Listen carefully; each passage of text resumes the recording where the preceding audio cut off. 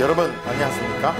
今日はこの本を取り上げますこの本の56ページの音声ですどうぞお聞きください 신종플루의 효과적인 백신이 국내 연구팀에 의해 개발됐습니다. さていかがだったでしょうか一番最初に出てきたのは新ジョンプルって言ってるんですね新ジョンこれで新種でプルがこれがインフルエンザのことですインフルエンザ の略ですねプルと言います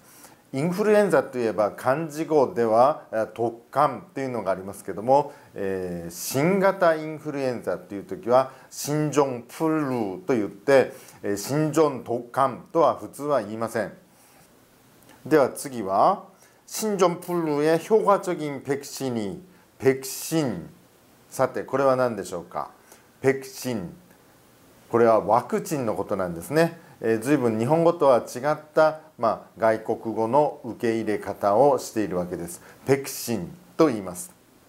국내연구팀에의해개발됐습니다